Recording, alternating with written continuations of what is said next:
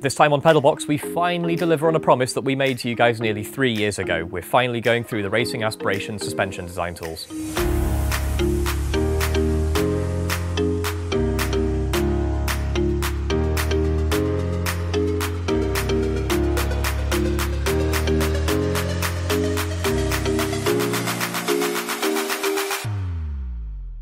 That's right folks, all the way back in episode 9 we used Racing Aspirations design tools to help build the rear suspension on our track car, and today we're going to revisit it. It's kind of relevant to us right now because we're about to do a minor redesign on some of our front suspension, and it's about time for us to blow the cobwebs off it again. And we figure while we're at it, we may as well run you guys through how it works.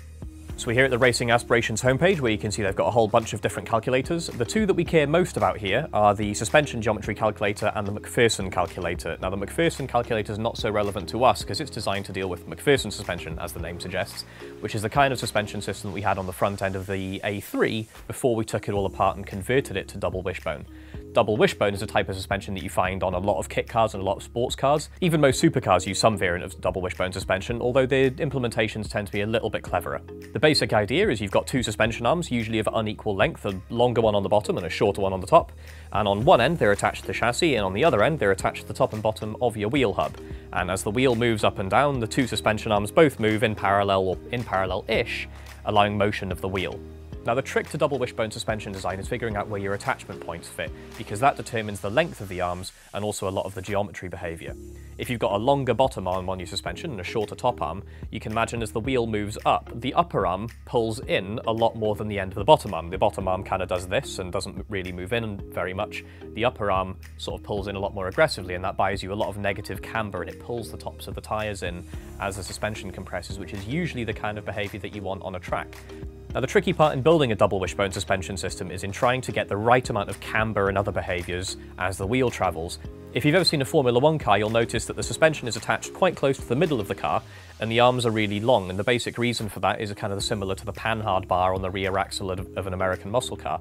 The longer the arm is, the less horizontal motion you get of the wheel as it lifts up through compression. So if you've got a really, really long arm like this and the wheel comes up, you can, you can see it's not really coming in very much. Whereas if you've got a very short suspension arm, to get much vertical travel, it has to move in a lot further around that arc. And by setting the attachment points of the arms differently on the chassis and the hubs, and setting the arms at different lengths to each other relatively, you can change how much camber you pick up by having the, the top arm shorter and pulls the top of the wheel in more as the wheel compresses.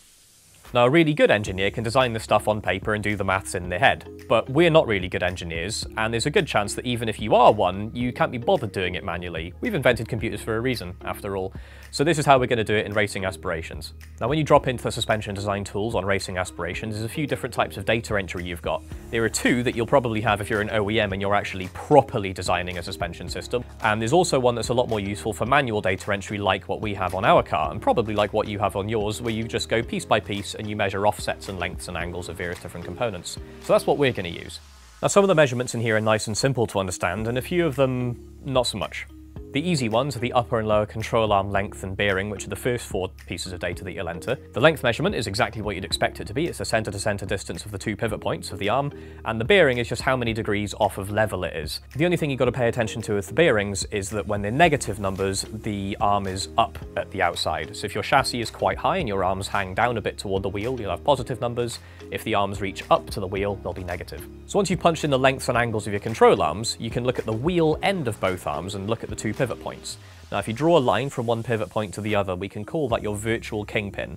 Once upon a long time ago, cars had an actual kingpin that the steering assembly would fit onto and your, your wheel would like steer around this pin and it would slide up and down on it for your suspension travel. Obviously we don't have those anymore, but from a mechanics point of view, like from how the suspension moves, we have a virtual one and this describes how a lot of your uh, steering geometry behaves. Now, this virtual kingpin line is actually quite important because we use that to measure the next two pieces of data that we're entering. Now, next up, we're going to go through what Racing Aspirations calls the upright measurements, and we're going to enter the second one first, just because it's a little bit easier to understand and get our heads around. Now, if you imagine drawing a line through the center of your wheel, along its like axis of rotation, if it had an axle, it would be along that line. You draw that line all the way out, and wherever it intersects with your virtual kingpin, um, you take that line, and the length of it is the measurement we're after here. Now if we look at the kingpin end of that line that we just traced out to the hub, and trace it up instead to the joint on the upper control arm, that's your kingpin to spindle offset. Hooray! 20th time's a charm. Now those two upright measurements are probably the most complicated part of this whole thing to get your head around. Everything else is nice simple measurements. The chassis ones especially are really easy. All you need to measure for this one is the width, the distance between the two upper control arm links on the chassis and the distance between the two lower control arm links on the chassis, and then how far apart they are vertically. So you might have something like 800 mil apart and 700 mil apart, and 300 or 400 mil of vertical spacing, for example. Now next up we've got a really really easy one for you. You need your tyre dimensions and this is your tyre width, aspect ratio and rim diameter and you can read these directly off the side of your tyre. One second.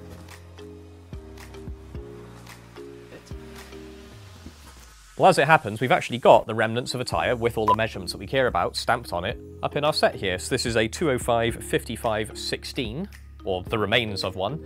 This fell off of a BMW 3 Series compact that had a blowout on the motorway, but that's another story. Next up, you'll need to know your offset, which is usually stamped on the inside of your wheel. If it isn't, you've probably got a bit of a harder time, but you can probably find your offset on some forum or blog post or something somewhere.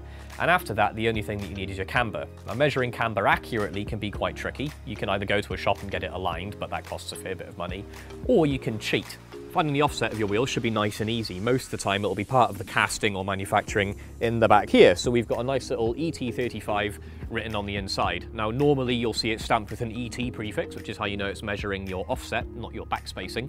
Offset and backspacing kind of measure the same thing, but they use a different process. Backspacing is how far is it from this face to the inside of a wheel, while offset is how far is it from that, from that face to the center line of the wheel, so they do measure different things.